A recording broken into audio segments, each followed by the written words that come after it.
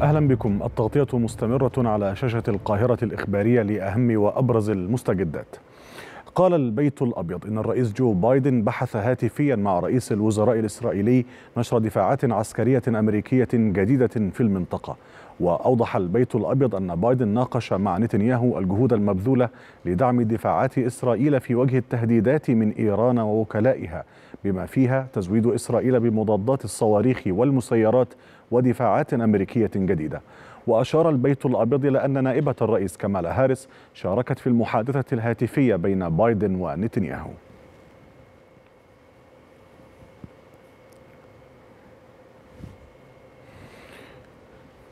وفي السياق نفسه قال البيت الأبيض إن بايدن ناقش مع نتنياهو التصعيد الأخير في الشرق الأوسط وأضاف البيت الأبيض أن بايدن أكد في اتصاله مع نتنياهو التزام واشنطن بأمن إسرائيل ضد جميع التهديدات القائمة من إيران كما أكد أهمية الجهود الجارية لتهدئة التوترات في المنطقة على نطاق أوسع.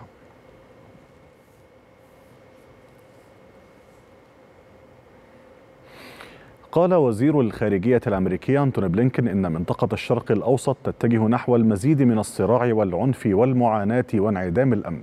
وخلال زيارته لمنغوليا أضاف بلينكن أنه من الضروري البدء بوقف إطلاق النار في قطاع غزة مشيرا إلى أنه على الأطراف كافة اتخاذ الخيارات الصحيحة. من الضروري أن تتخذ كافة الأطراف الخيارات الصحيحة في الأيام المقبلة لأن هذه الخيارات هي الفارق بين البقاء على هذا المسار من العنف وانعدام الأمن والمعاناة أو الانتقال إلى شيء مختلف تماما وأفضل كثيرا بالنسبة لجميع الأطراف المعنية. وأعتقد أن وقف إطلاق النار يظل واضحا في مصلحة الجميع فهو في مصلحة الإسرائيليين والفلسطينيين والمنطقة بأسرها. حذر مفوض الأمم المتحدة لشؤون اللاجئين فيليميو جراندي من اتساع نطاق الصراع في الشرق الأوسط مؤكدا أن ذلك سيشكل كارثة على جميع الأصعدة. كانت مفوضية اللاجئين أشارت إلى تزايد عمليات النزوح في منطقة الشرق الأوسط بسبب الأزمات المتعددة حيث نزح عدد قياسي بلغ 114 مليونا حول العالم منهم حوالي 40 مليون لاجئ فروا من عشرات الصراعات الدائرة بالشرق الأوسط. أفادت وكالة أنباء فارس الإيرانية بأن التحقيقات الأولية كشفت عن أن قذيفة ضربت مقر إقامة إسماعيل هنية في الطابق الرابع من أحد المباني في منطقة الزعفرانية بالعاصمة طهران. وأضافت الوكالة أن القذيفة أدت إلى تحطم أجزاء من السقف والنوافذ وقتلت رئيس المكتب السياسي لحركة حماس إسماعيل هنية وأحد حراسه. كما ذكرت التحقيقات أن إسرائيل تقف وراء الحادثة.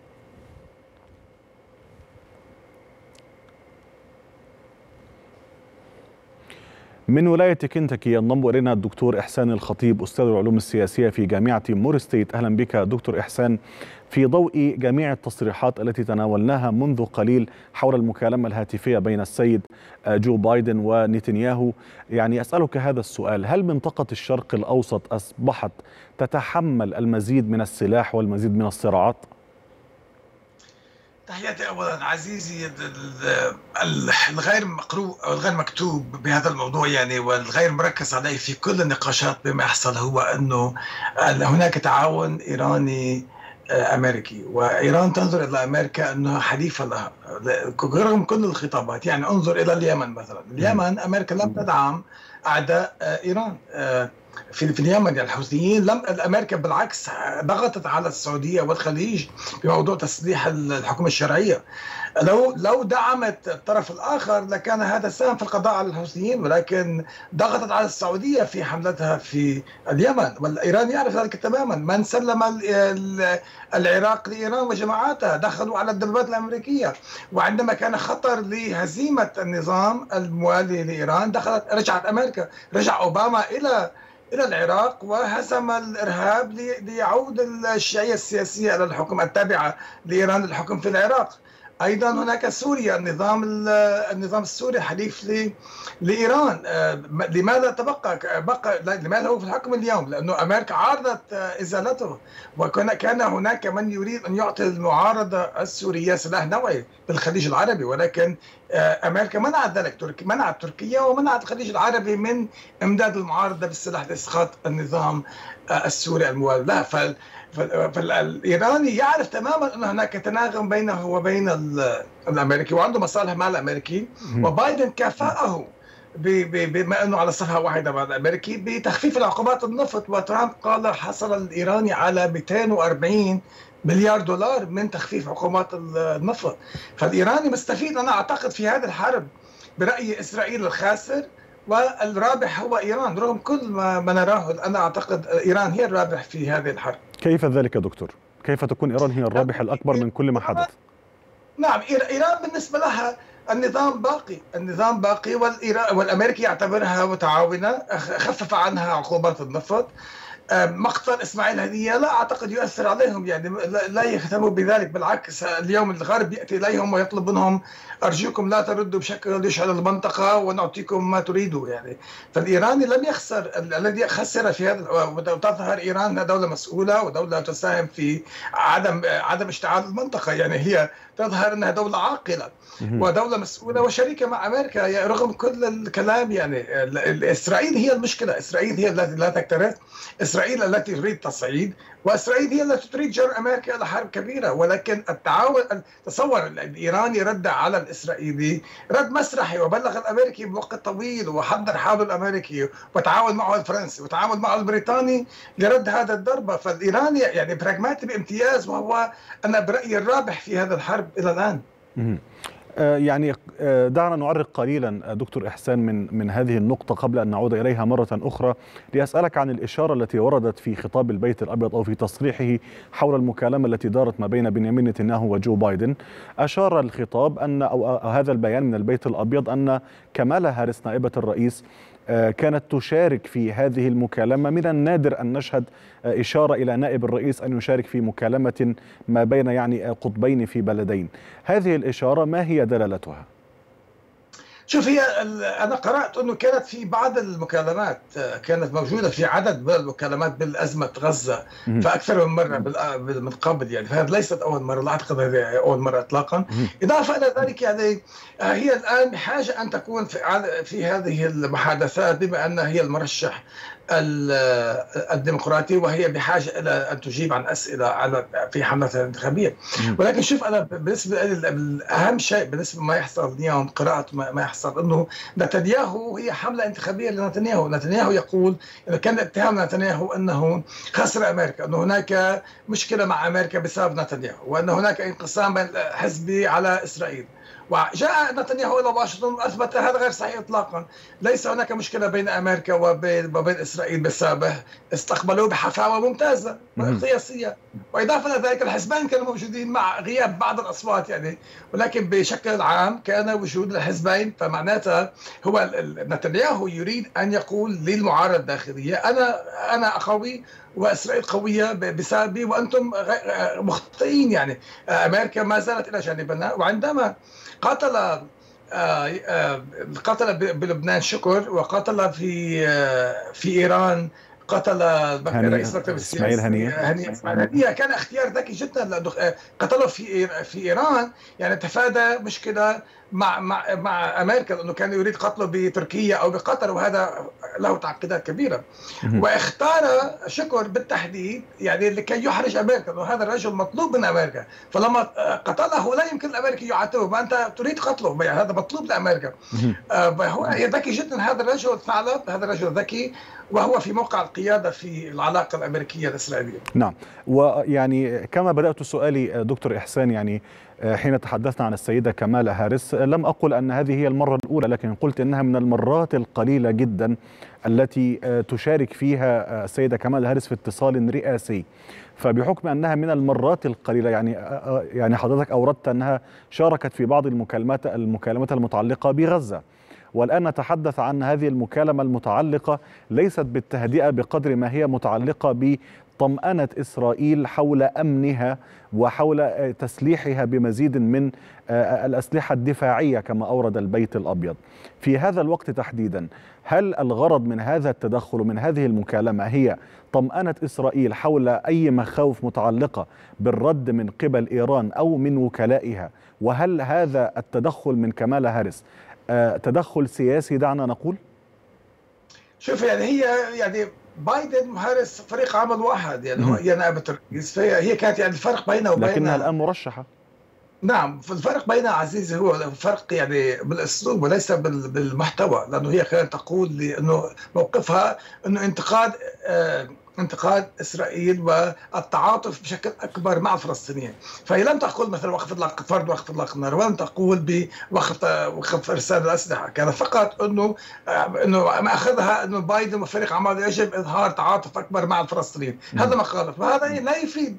يعني يعني هم يحاولون اليوم عزيزي اللعب على الخطين. يعني يحاول يعني إنه اكتساب الصوت العربي والمسلم لينتخب الديمقراطي لينتخبها وطمأنة الإسرائيلي فيلعبوا على الخطين يعني. ولكن يعني يحاولوا خداع العرب المسلمين الناخبين مرة أخرى.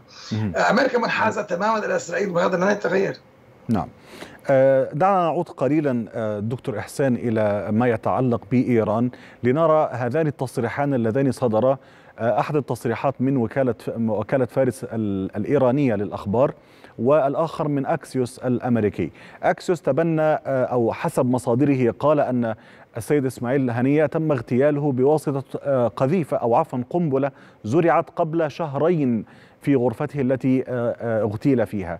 فارس الإيرانية قالت العكس قالت إنما هو تم اغتياله بمقذوف أطلق في لحظة الاغتيال دلالة هذان التصريحان أحدهما يتحدث عن شهرين تم زراعة هذه القنبلة وكأن هذا هو المكان الثابت الذي ينزل فيه وما بين حادث عرضي تبنته وكالة فارس الإيرانية دلالة كل من هذان التصريحان سياسيا على الداخل الإيراني وعلى مستقبل السياسة الإيرانية ماذا يكون؟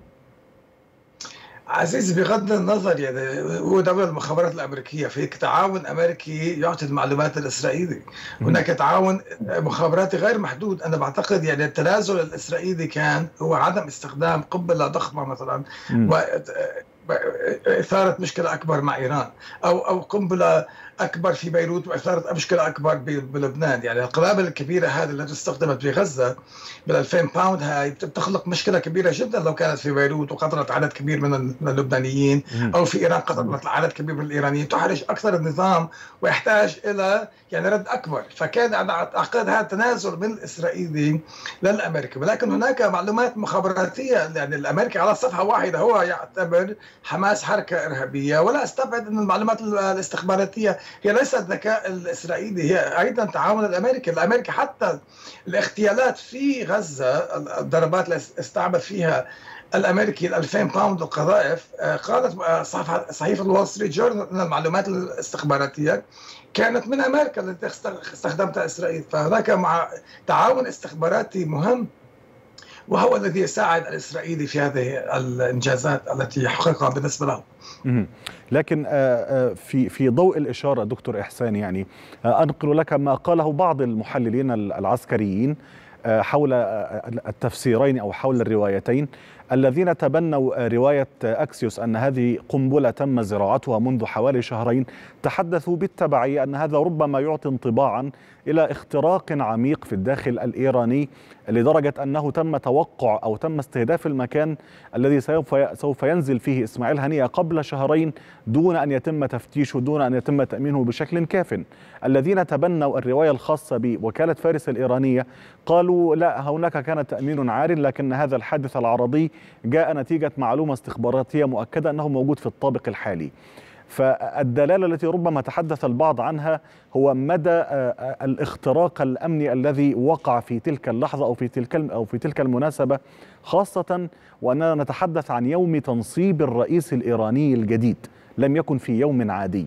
فالدلالة السياسية لهكذا حدث بهكذا تفسير. دكتور احسن شوف أنا قراءتي إنه هناك اختراق كبير لإيران لأنه استطاعت إسرائيل في الماضي اغتيال علماء ذرة يعملون البرنامج الذري في في طهران ذاتها نعم. واستطاعوا كمان سرقة ملفات كبيرة في الملف النووي وأتى بها نتنياهو إلى إلى الأمم المتحدة. يعني أعتقد الإيراني محرج يعني يفضل أن يكون عنده رواية تخفف من هذا الانكشاف. ولكن أنا أعتقد نعم هناك اختراق للنظام الإيراني.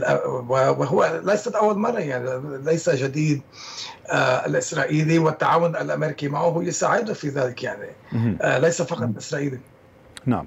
آه وبما أننا نتحدث الآن دكتور إحسان عن منطقة الشرق الأوسط بالكامل كل هذه النزاعات وكل هذه العمليات التي تتوسع يوما بعد آخر في الشرق الأوسط كيف ستؤثر على مستقبل السياسة العالمية ككل وشكل الخريطة الاقتصادية حتى؟ شو منذ البداية يعني الأمريكي منذ البداية قارب الموضوع أنه لا يريد توسع الحرب. لا يريد توسع الحرب. وهو فعلا يعني لم تتوسع الحرب يعني فعليا لم تتوسع الحرب. يعني كان عندك محور طويل عريض المنطقة تشتعل إيران تدخل الحرب وهذا لم يحصل يعني ما يحصل في جنوب لبنان. هو محدود جدا جدا. نعم هناك خطر إنه يتوسع ولكن ما زال يعني نحن ندخل الشهر العاشر وماذا يعني؟ ما زالت بالذات البينج بونج بين بين إسرائيل ولبنان يعني. والحوثي يعني كمان يضرب إيلات عمليا إيلات ومع أنه تجارة إسرائيل كلها من حيفا يعني. ف وأسعار النفط ليست مشكلة بالنسبة لأمريكا. أين أسعار النفط؟ ما مشكلة بس أسعار النفط. النفط معقول سعره لم يتأثر بهذه الحرب. وبالنسبة للملاحة الدولية والحوثيين هذا يؤثر على التجارة العالمية ولا يؤثر على مصالح أمريكا وإسرائيل. غير صحيح أمريكا ليست متأثرة. لو متأثرة كانت فعلت أكثر بكثير. حتى وزير الدفاع قال هاي مشكلة للتجارة الدولية مش مشكلة لنا فقط. فالأمريكي بعتقد لحد كبير مرتاح والأهم الذي يجعل الأمريكي يرتاح تماما هو أنه إيران على صفحة واحدة معه وبراغماتية إيران وهذا يعني يجعل أمريكا تحترم إيران أكثر إنه هذه الدولة على صفحة واحدة مع أمريكا تقول عدم تفسير الحرب. حتى حلفائها الذين يعني تضربهم إسرائيل يقولوا ذات الأسطوانة يقولوا لا نريد تفسير الحرب. فلذلك إسرائيل مطمئنة أنه ممكن تستمر في غزة لفترة طويلة. ويعني جنوب لبنان بقول لك بعد إنه والله في الإسرائيليين بالاوتيلات اسرائيلي 100 ألف إسرائيلي يعني 7 مليون يهودي منهم 100 ألف إسرائيلي. وهناك حرب إبادة في غزة الشهر العاشر.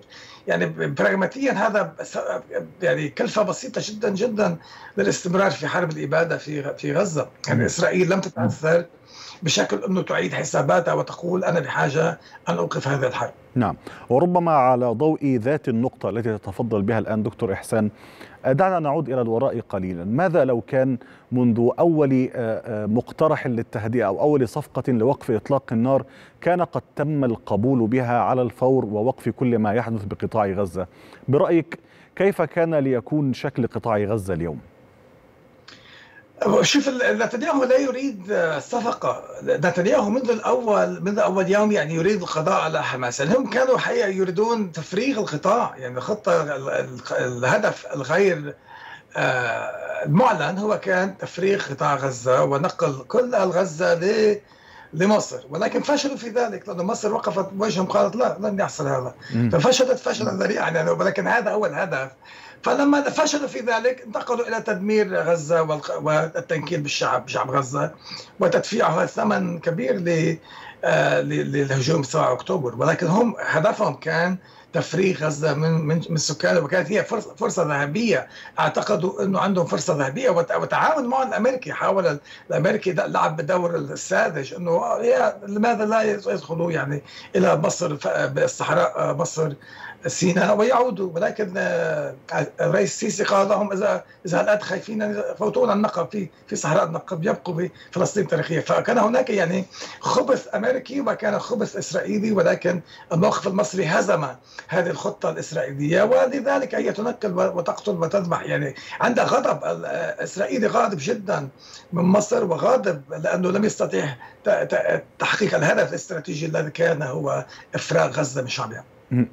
لكن كما أوضحت حضرتك الآن وقلت أن يعني على أرض الواقع الولايات المتحدة لا تريد لدائرة الصراع أن تتسع عن ما هي عليه الآن على الأقل لكن يتحدث البعض بعض المحللين عن أن كل مساعي نتنياهو الآن منصبة في توسعة رقعة الصراع هل تتفق مع هذه الرؤية؟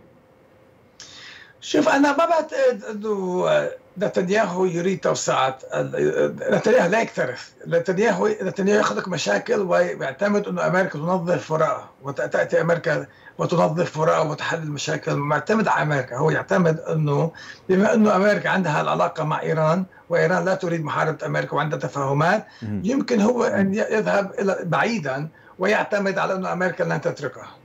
هذا الذي يجعله يتصرف بهذا الشكل. معتمد على الدعم الأمريكي غير المحدود. الأمريكي هو يقول أنا أحارب مع مع, مع إسرائيل. فلذلك ال ال ال الإسرائيل يدخل يأخذ مخاطرة أحيانا تتفاجأ. المخاطرة يضرب مثلا ضاحية. تصعيد كبير. ولكن هو معتمد على الأمريكي. لذلك هو يضرب الضاحية. هو معتمد أنه الأمريكي علاقته مع الإيراني وأن الايراني على صفة واحدة ويستطيع الإيراني التأثير على على حزب الله في لبنان. يعني قرار الحرب وقرار السلام بيد إيران. آه ولكن إيران لا تتدخل في الأمور الصغيرة يعني ولكن قرار الحرب الشاملة هو بيد إيران ليس بيد الافرقاء التابعين. لها نعم. يعني دكتور إحسان الخطيب شكرا لك على جميع هذه التفاصيل وجميع هذه المعلومات. كنت معنا من ولاية كنتاكي أستاذ الدكتور إحسان الخطيب أستاذ العلوم السياسية بجامعة مور ستيت شكرا لك. شكرا. والآن إلى تطورات الأوضاع الميدانية في غزة.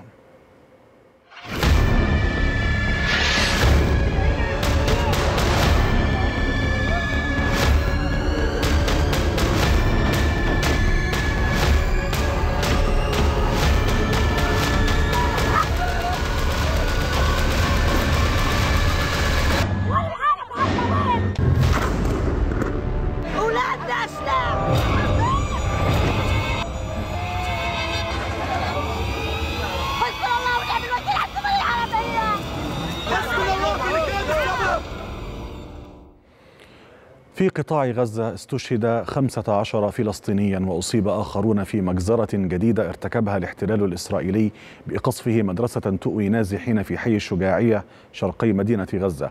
وأفاد مراسلنا بأن طائرات الاحتلال قصفت مدرسة دلال المغربي التي تؤوي نازحين في حي الشجاعية. ما أسفر عن استشهاد 15 فلسطينيا بينهم أطفال ونساء وإصابة آخرين في حصيلة أولية. وأشار مراسلنا إلى أن طيران الاحتلال قصف مدرسة أو قصف المدرسة بثلاثة صواريخ.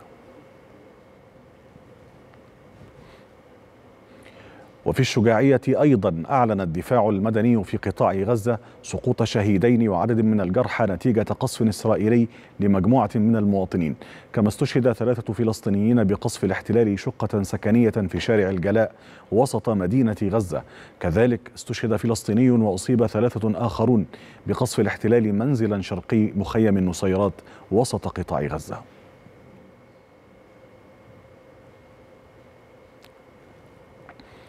قال المفوض العام لوكالة غوث وتشغيل اللاجئين الفلسطينيين. أونروا فيليب لازاريني إن أطفال قطاع غزة يعيشون صدمات وفظائع لا توصف بعد 300 يوم من الحرب والنزوح والخسارة والألم. وفي بيان له جدد لازاريني الدعوة لوقف فوري لإطلاق النار من أجل أطفال غزة الذين قال إنهم شهدوا ما لا ينبغي لأي طفل أن يشهده مؤكدا أنهم يستحقون الأمن.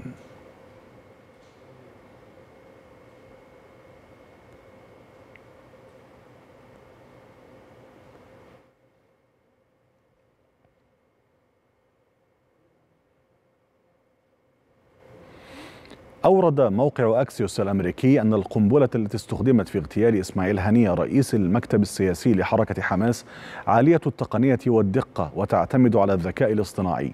وأفادت صحيفة نيويورك تايمز كذلك أن رئيس المكتب السياسي لحركة حماس إسماعيل هنية اغتيل بقنبلة ثبتت في غرفته بالعاصمة الإيرانية طهران قبل نحو شهرين وليس بصاروخ موجه.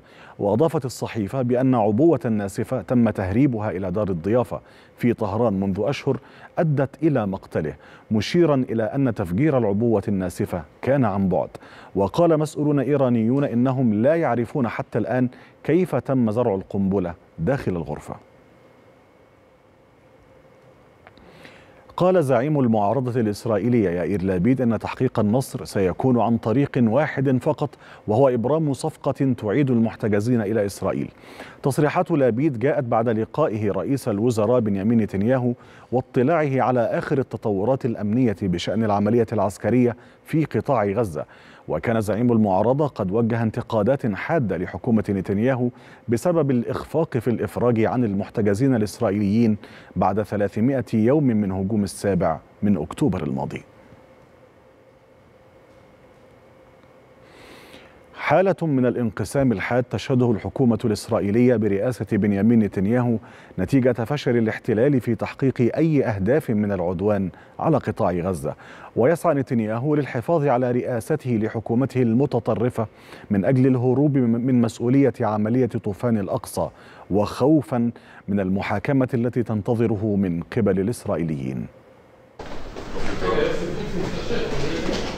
بين المساءلة والانقسامات تشهد حكومة الحرب الإسرائيلية تصدعات كبيرة على خلفية فشلها في غزة. تلك الخلافات قادت أعضاء بارزين في الحكومة الإسرائيلية المتطرفة إلى مطالبة رئيس الوزراء نتنياهو بالاستقالة لإنقاذ إسرائيل مما سموه نفق نتنياهو المظلم.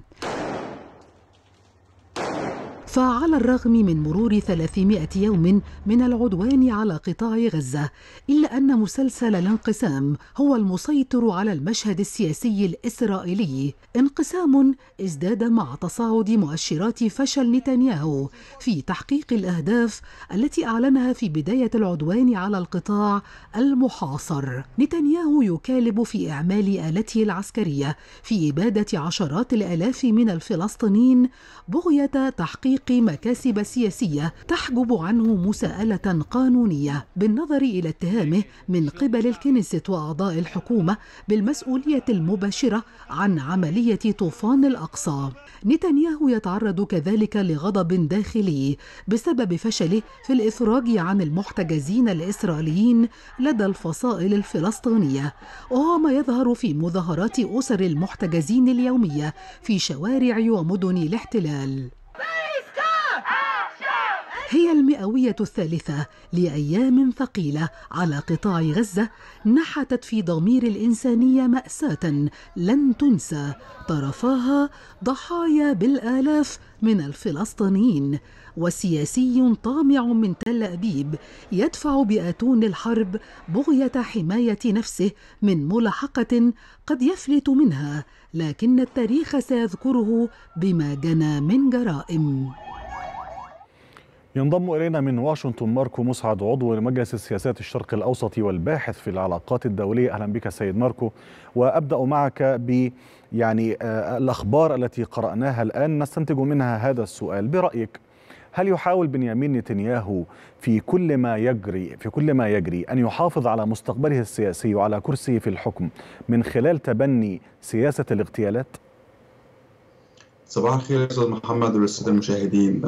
أجابة سريعة لسؤال حضرتك. نعم بنيامين نتنياهو يحاول في بيحاول بائسا طبعا في في في إطالة أمد الصراع وعدم الوصول إلى حل نهائي الآن خاصة نتحدث عن الانتخابات الأمريكية. وأعتقد إن زيارة بنيامين نتنياهو للولايات المتحدة في الأسبوع الماضي خرجنا منها بدرسين مهمين جدا وهما الدرس الأول إن بنيامين نتنياهو تيقن يقين تماما بأن هناك ضعف كبير جدا من إدارة من إدارة بايدن وهناك فراغ سياسي كبير جدا من الممكن أن يستغله لصالحه الدرس الثاني. هو تيقن أيضا أن هناك معارضة كبيرة جدا من الحزب الديمقراطي أو على وجه الخصوص الجبهة التقدمية من الحزب الديمقراطي. ورأينا ذلك كثيرا من الاعتراضات من أعضاء الحزب الديمقراطي والذين لم يحضروا خطابه أمام الكونجرس هذان الدرسين الذي خرج بهم بنيامين نتنياهو الآن وخصوصا التوقيت بعد حادثان الاغتيالات في لبنان وفي إيران أعتقد إنه اراد استغلال الفراغ السياسي واراد استغلال الضعف السياسي الموجود في إدارة بايدن.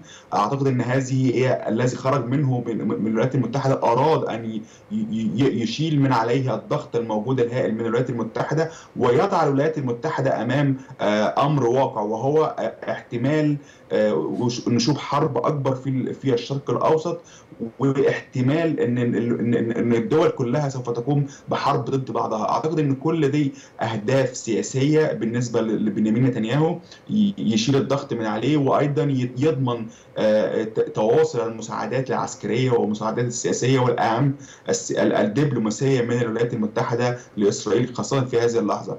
رأينا هذا الاستغلال السياسي لضعف إدارة بايدن أيضا في في أبريل عندما قامت قامت بمهاجمة السفارة الإيرانية وما شابه ذلك وأيضا بالرد الإيراني الرد الإيراني على إسرائيل والرد الإسرائيلي على إيران. كل هذه الأحداث كانت لأول مرة تحدث في الشرق الأوسط ولكنها كانت مهمة جدا بالنسبة لبنيامين نتنياهو لأن كان في هذا الوقت بالتحديد كان هناك معارضة كبيرة جدا من الحزب الديمقراطي وأعضاء الحزب الديمقراطي بأن لا بالا الا يسمح إدارة بايدن بإرسال شحنات المساعدات العسكرية وهكذا. فأعتقد كل ما يحس كل ما يشعر بنيامين نتنياهو أن هناك معارضة كبيرة في الولايات المتحدة وخاصة الحزب الديمقراطي يقوم بفعل هذا الشيء في الشرق الأوسط لتشتيت الانتباه وتشتيت التركيز في الولايات المتحدة وبالطبع ضمان مساعدة كبيرة جدا. رأينا في عندما عندما كان موجود في الولايات المتحدة كامل هاريس كانت تنتقده بشده الآن كامل هاريس تدين له بالدعم وتكلمه في التليفون وتضمن له مساعدات عسكرية للولايات المتحدة الأمريكية. أعتقد أن هذا ما يريده بنيامين نتنياهو الآن وهو ما يحاول فعله ولكن على حساب الشرق الأوسط على حساب الإقليم بوجه عام. ما يحدث الآن نحن كما ذكرنا مع حضرتك بالأمس إن نحن شفع حفرة في الشرق الأوسط. أعتقد إن كل الحسابات معقدة جدا. نحن نتحدث منذ شهور بأن هناك كثير من الأحاديث أو من من من الأحداث تحدث لأول مرة وتكون سابقة. نتحدث عن تبادل الإطلاق النار أو تبادل الهجوم ما بين إيران وبين إسرائيل. م. أعتقد إن هي حادثة سابقه سابقة تحدث في لأول مرة. ولكن التحذير هنا ولكن مع تكرار هذه السوابق فنحن نتحدث على أن هناك تأزم في أو أو نأتي بكثير على على الخطوط الحمراء لكل من الطرفين. ولا نعلم إلى اين إلى إلى, إلى متى سوف ينتظر الطرف الآخر عند الضغط على هذا الخط الأحمر. وأعتقد إننا في أقل في حسابات قليلة جدا عند عند الضغط على هذا الخط الأحمر. فأعتقد إننا من الممكن أن نرى توسع لرقعه الصراع. وهذا ما بالطبع لا لا أحد يريده إلا بنيامين نتنياهو نفسه. وربما هذا هذا كان محور سؤالي التالي لك سيد ماركو. يعني هل ربما يكون يكون التوتر الذي يشهده الشرق أو تشهده منطقة الشرق الأوسط الآن وفي حال اتساعه هل هذا هو الثمن الذي يدفع حتى يبقى بنيامين نتنياهو في كرسيه؟ الشرق الأوسط لا لا لا يقدر على على حرب إقليمية واسعة خاصه بين إيران وإسرائيل بالطبع لأنها سوف تجر كثير من الدول ما بين هذين البلدين جغرافيا لهذا الحرب. أعتقد إن الشرق الأوسط يعاني كثير خاصة بقطاع حرب قطاع غزة نتحدث عن التهديدات القادمة من اليمن القادمة من من لبنان القادمة من إيران بشكل عام وأذرعها في المنطقة. أعتقد إن إيران نفسها لا تريد توسيع رقعه الصراع أو الدخول في حرب مباشرة مع إسرائيل. هي تريد فقط إنها تقول أو ترسل رسائل سياسية إنها موجودة ولها إنها قوة إقليمية كبيرة جدا في المنطقة ويجب ان أن تؤخذ في الاعتبار. عندما نتحدث عن أي اتفاق نتحدث عن الاتفاق السعودي الأمريكي الإسرائيلي كل هذه الاتفاقات أو كل هذه رسم الخريطة للشرق الأوسط أعتقد إن إيران تقول أنا موجودة. لكن لا إيران أعتقد إنها لا تقدر على الدخول في حرب حرب مباشرة مع إسرائيل لأنها تعلم إن هذه الحرب ستكون مع الولايات المتحدة الأمريكية وتعلم إنها ستكون مع ضد ضد دول كثيرة جدا لا. لا تمتلك هذه القدرات العسكرية لكي تجابه هذه القوات العسكرية للولايات المتحدة والحلفاء. فأعتقد إن إيران وخاصة بعد قدوم الرئيس الإيراني المنفتح على الغرب إلى حد ما. أعتقد أن أيضا هي هذه رسائل أو هذا درس كبير أيضا لبنيامين نتنياهو لأنه عندما تيقن أن هناك كثيرا من التقارب الإيراني الأمريكي أراد أن يقطع هذه المصالحة أو يقطع هذه العلاقات قبل أن تولد. لماذا؟ لأنه في هذه المصالحة خطر على بنيامين نتنياهو وخطر على إسرائيل. معلوم جدا إن بنيامين نتنياهو كان يحاول أن يجر الولايات المتحدة لحرب مباشرة مع إيران لمدة حوالي 15 عام. لم يقدر على فعل ذلك وحاول أنا أعتقد إنه يحاول الآن أن يبدأ بهذه الحرب مباشرة باسرائيل ثم بالطبع سوف تأتي الولايات المتحدة لتنقذه. وقد رأينا كثيرا من الفرقاطات أو الأسلحة أو العتاد الأمريكي بالطبع سوف يأتي إلى الشرق الأوسط لأن هناك دعم كبير ومستقر وثابت لدى الخارجية الأمريكية ولدى الولايات المتحدة بشكل عام بأن إسرائيل هي الحليف الأقوى والأول للولايات المتحدة في الشرق الأوسط. ولا أتوقع انه أن الولايات المتحدة سوف تخذل إسرائيل في حربها ضد إيران. رأينا ذلك في أبريل وأعتقد إن حدث توسيع رقعة الصراع في هذه الفترة الآن. سوف نجد ذلك بالطبع أن الولايات المتحدة سوف تكون في ظهر إسرائيل خاصة نحن في انتخابات. ولا أعتقد أن الحزب الديمقراطي سوف يفوت هذه الفرصة بأنه غير مساند لإسرائيل لأن في هذه لأن لو حدث ذلك سوف يكون خسارة كبيرة على الحزب الديمقراطي سواء كانت كاميلا هاريس مرشحة أو ما أو من كان. أعتقد إن لا يقدر أحد الآن أن أن لا يصالح أو لا يخاطب ود الجماعات اليهودية في الولايات المتحدة خاصة إن إحنا في انتخاب سباق صعب جدا يحسم بمئات الآلاف فقط وليس ملايين يعني بمئات الآلاف فقط من الأصوات الناخبين. فإن لم يقدروا على مخاطبة ود الجماعات اليهودية أو جماعات ذات الثقل السياسي الموجودة في الولايات المتحدة لا, لا أحد يقدر أن أن يفعل ذلك من وجهة نظري سواء الديمقراطيين أو الجمهوريين. الجمهوريين من من وجهة نظرهم هم بالطبع يريدون دعم كامل لإسرائيل وهذا غير غير غير في ليس يوجد فيه نقاش ولكن الحزب الديمقراطي الجبهة التقدمية تواجه بتواجه معارضة شديدة جدا أو بتركب الاتهامات على بايدن بأن يقلل من المساعدات العسكرية لإسرائيل ورأينا كثيرا من الانتقادات اللاذعة من هؤلاء التجمع الموجود في الحزب الديمقراطي ضد إسرائيل مما يحرج الحزب الديمقراطي أمام جماعات اللوبي اليهودية الموجودة في الولايات المتحدة. هذا ما ما أراه. أعتقد أن الولايات المتحدة تعلم جيدا أن ما يحدث هو خطر على مصلحتها وخطر على سمعة الولايات المتحدة. لماذا؟ لأن اذا لم تقدر الولايات المتحدة أن تفرض قيودها أو تفرض شروطها على بنيامين نتنياهو في خلال عشرة أشهر كيف لها أن تتحدث مع حلفائها في مشاكل ما في مناطق ما أخرى؟ أعتقد إن ده يؤثر كثيرا على رؤية الولايات المتحدة كرائد للمستوى النظام العالمي الآن عندما نتحدث عن حلفاء الحلفاء يشكون أو ينظرون إلى, الموضوع إلى هذا الموضوع بريبة أعتقد بقلق كبير. كيف للولايات المتحدة ألا تقدر أن تضغط على بنيامين نتنياهو للانصياع لأوامرها أو على الأقل الجلوس لمائدة المفاوضات؟ رأينا الرئيس بايدن يتحدث عن ورقة بايدن التي ماتت وشبعت موت من حوالي شهرين أو ثلاثة والآن يتحدث وزير الخارجية بأنه هناك أمال معقودة على هذه الورقة. ما هذه الأمال المعقودة على هذه الورقة؟ أين هذه الورقة؟ نحن لا نتحدث عن مفاوضات الآن نتحدث عن محاولات لعدم اتساع رقعه الصراع. كنا نتحدث عن هذه الورقة منذ حوالي ثلاث أربعة أيام ولكن الآن نتحدث عن حدث استراتيجي كبير في الشرق الأوسط هو محاولة توسيع رقعه الصراع ومن الممكن حرب تكون كبيرة جدا وحرب تكون إقليمية تكون تكون منجرة إليها الولايات المتحدة بعتادها بقواتها بدبلوماسيتها بسياستها ومن ينظر إلى هذه الأحداث؟ الصين وروسيا.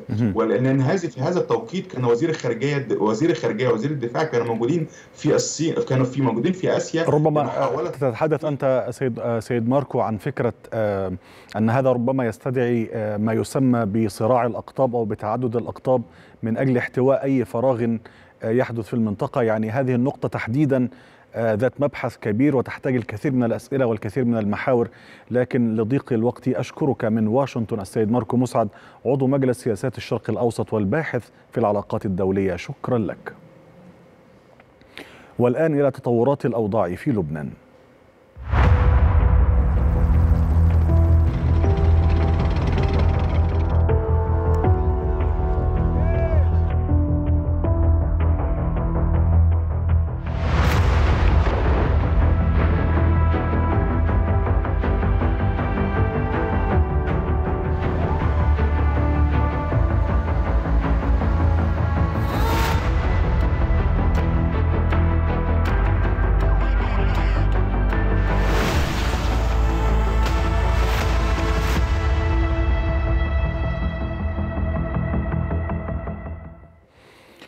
دوت صفارات الإنذار في عدد كبير من مستوطنات الجليل الغربي للمرة الأولى منذ اغتيال القيادي العسكري في حزب الله اللبناني فؤاد شكر.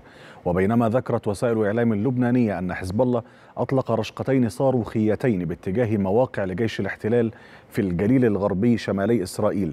أعلنت هيئة البث الإسرائيلية أن منظومة القبة الحديدية الدفاعية رصدت 60 صاروخا انطلقت من لبنان وأسقطت 15 صاروخا منها كما أفادت بتدمير منصة الإطلاق التي استخدمها حزب الله.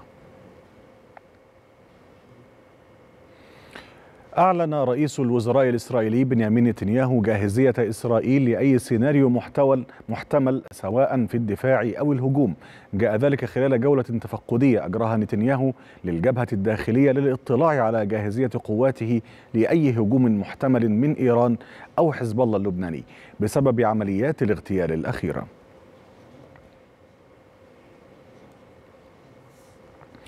صرح المتحدث باسم جيش الاحتلال الإسرائيلي دانيال هاجاري بأن تل أبيب مستعدة بخطط هجومية في الإطار الزمني القريب. وأضاف هاجاري أن الجيش الإسرائيلي تمكن من القضاء على القيادي بحزب الله اللبناني. فؤاد شكر من خلال عملية دقيقة للغاية.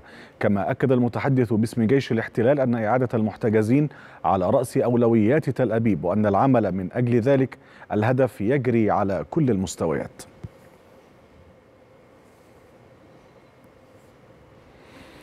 قال الأمين العام لحزب الله حسن نصر الله إنه سيتم الرد على تجاوزات إسرائيل رغم مطالبات عدة من من عدة دول بعدم الرد على الضربة الإسرائيلية على الضاحية الجنوبية في بيروت. وأضاف نصر الله في كلمة له أن إسرائيل قتلت في قصف الضاحية الجنوبية سبعة بينهم القيادي بحزب الله فؤاد شكر وأحد المستشارين الإيرانيين. وشدد نصر الله على أن العدوان الإسرائيلي على الضاحية الجنوبية ليس ردا على حادث مجد الشمس وإنما جزء من الحرب لافتا إلى نفي حزب الله سابقا مسؤوليته عن القصف وأنه لو كان المسؤول عن الحادث لأعلن ذلك. أعلن حزب الله إطلاق صواريخ مضادة للطائرات على مقاتلات إسرائيلية داخل أجواء الجنوب اللبناني. وأكد الحزب أن الصواريخ التي أطلقها أجبرت الطائرات الحربية الإسرائيلية على التراجع والانسحاب إلى خلف الحدود اللبنانية. أيضا أعلنت وزارة الصحة اللبنانية مقتل أربعة مدنيين وإصابة خمسة آخرين على الأقل جراء غارة إسرائيلية استهدفت منزلا ببلدة شمع بالقطاع الغربي للجنوب اللبناني. في حين أكدت مصادر محلية أن جيش الاحتلال استهدف منطقة مفتوحة في بلدة كفر كلا جنوبي لبنان. وأضافت المصادر أن جيش الاحتلال الإسرائيلي استهدف المنطقة صباح اليوم بالطائرات المسيرة بالتزامن مع إطلاق رشقات كثيفة من النيران. تجاه البلدة. قدمت وزارة الخارجية اللبنانية شكوى أمام مجلس الأمن الدولي والأمين العام للأمم المتحدة عبر بعثتها الدائمة في نيويورك طالبت بموجبها الدول الأعضاء في مجلس الأمن بإدانة الاعتداءات الإسرائيلية السيبرانية على لبنان. وقال لبنان في شكواه إن اعتداءات الاحتلال السيبرانية تشكل خطرا جديا على خدمات الطيران المدني وتهدد أمن وسلامة شبكات الاتصال والأجهزة والتطبيقات والبيانات الإلكترونية في المنشآت والمرافق الحيوية وطلبت وطلبت الخارجية اللبنانية من بعثتها الدائمة في جنيف تقديم شكوى أمام مقر الاتحاد الدولي للاتصالات يو مطالبة الاتحاد باتخاذ الإجراءات التقنية اللازمة لوقف هذه الاعتداءات ومساعدة لبنان على ضمان حسن سير شبكات الاتصالات.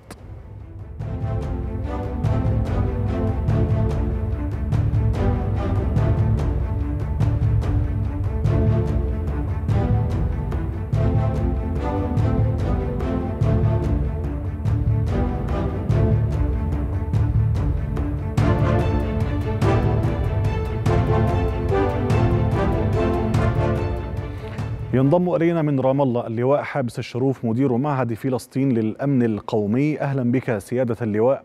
ومن المنظور العسكري أسألك هذا السؤال. هل يتحمل الشرق الأوسط صراعات جديدة وأسلحة إضافية؟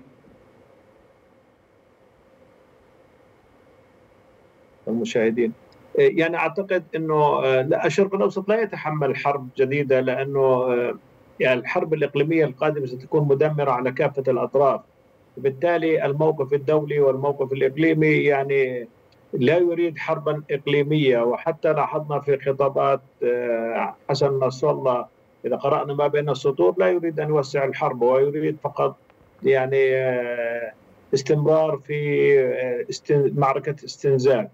ولكن نتنياهو نفسه يريد يعني أن يحسم لأنه نتنياهو فشل في نظرية الحسم ونظرية الردع. فبالتالي نتنياهو الآن يريد ما يسمى بدل من النصر المطلق النصر الكافي بمعنى وبآخر إنه هذا إنه يقضي إنه يستطيع أن يقضي على القوة المسلحة للمقاومة فقط لا غير. لأنه بالنهاية هو بيعرف جيدا إنه لا يستطيع القضاء على حركة حماس لأنه هذه عقيدة وفكر لا يستطيع القضاء عليها.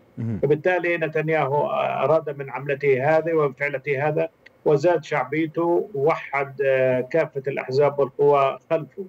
فنتنياهو نجح في ذلك وكذلك وحد أمريكا والأمريكا كما يوم أمس تحدث معه بايدن وأراد أن الدعوة أخذ الدعم الكافي له إذا تعرضت إسرائيل لأي اعتداء من أي دولة أو من أي جهة كان. نعم.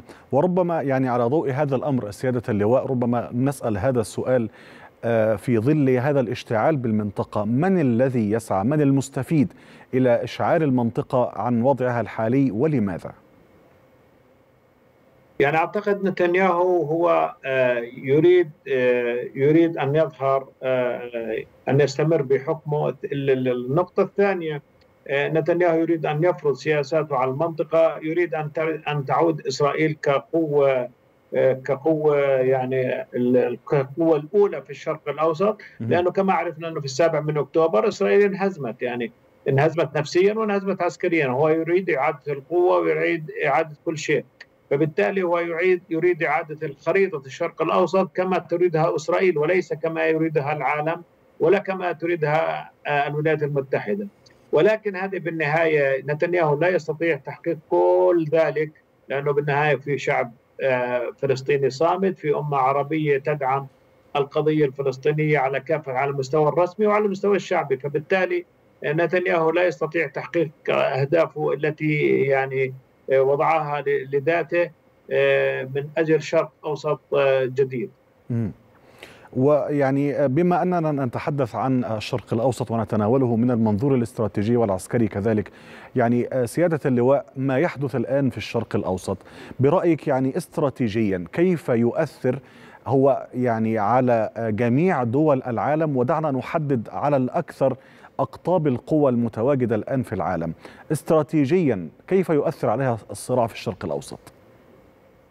لأن هناك في لها مصالح يعني الدول العالم كلها مصالحها الأوسط لأن مصالحها تتأثر الاقتصاد تأثر آه البترول تأثر آه آه التجارة تأثرت يعني كافة يعني كافة البنية الاقتصادية تأثرت نتيجة هذا الحرب السياحة تأثرت. هذه هذا التأثيرات في في, في ذلك فبالتالي تأثر هذا التأثير ليس فقط على إسرائيل ولكن تآثرت المنطقة منطقة المنطقة في منطقة الشرق الأوسط بأكملها. وكذلك يعني بالنسبة للدول العظمى الصين وروسيا والدول الأخرى يعني هي لم تتدخل بشكل مباشر في في الحرب يعني كالولايات المتحدة الأمريكية. الولايات المتحدة الأمريكية الآن هي دورها دورها حماية إسرائيل دورها الدفاع عن إسرائيل.